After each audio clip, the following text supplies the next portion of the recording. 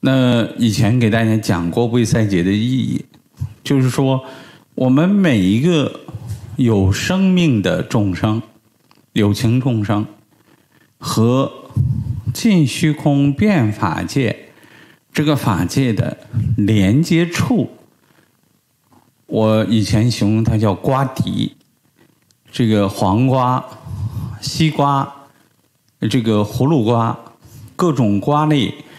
它和一个藤要连接的地方叫瓜迪，有个成语叫瓜树迪落，啊，这个瓜迪和这个呃蔓子连接的这个地方呢，它的重要性特别的重要。为什么？如果你脱离了这个常青藤，呃，这个瓜就烂了，瓜就死了，啊。说是那是生命的根本。说是瓜没熟的时候，不能从这个常青藤脱落，如果脱落了，就是死亡。那么拿我们人来讲，我们和这个呃法界这个常青藤，它叫永生的果，永生的法界。我们的生命是靠永生的法界源源不断的。像我们这个葫芦瓜啊，葫芦娃，不停的传输能量。那这个瓜底所在的地方呢，在我们人的额前，这个头额的这个前方。你闭着眼睛，你们现在闭着眼睛，感觉一下，闭着眼睛亮晃晃的，感觉有一个灯，还是一个什么？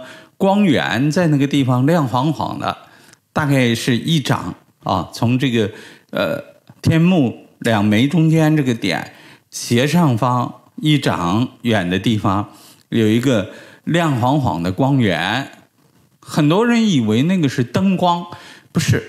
你你如果是屋子是黑的，你闭着眼睛看，那也是明晃晃的。那个这个人体。没有生命光就死了。人的生命怎么是活的？就是你体内有光，有光，你的生命就是活的；没有光，你的生命就死了。所以是要重视这个给你生命传输法界无量光。按照你们基督教的说法，天主教的说法。是这个上帝之光的这个源头，它就在自己的这个额前这个明晃晃的光源地。那么你仔细观它，你闭着眼睛，你用脑子用一下自己的脑子，想它成为一个圆球啊，这个叫心意下功夫，哎，把这个明晃晃的光聚起来。这个叫聚精会神，聚起来啊！你们现在闭着眼睛就去，哎，它慢慢就会形成一个一团光。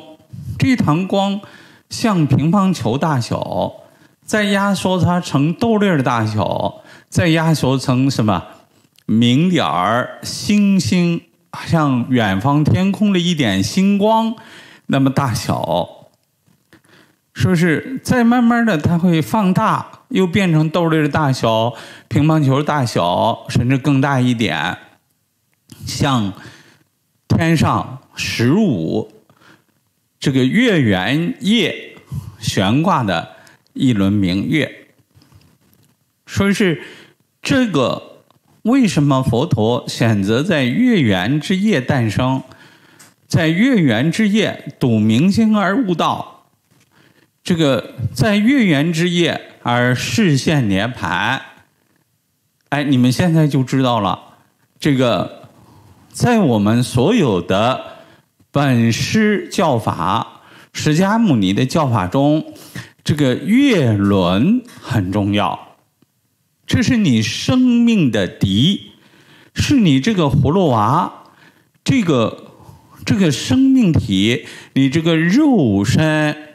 你这个肉身的生命源头，你和法界常青法界长生法界连接的根底。所以是古圣贤老子提到这个深根固底、长生久世之道，也就是说，你所有的内观禅，所有的这个戒定慧的修炼，都跟这个底有关系。它是生命的根底，是你这个瓜。这个能够长生的根和敌，离开它你就没命了。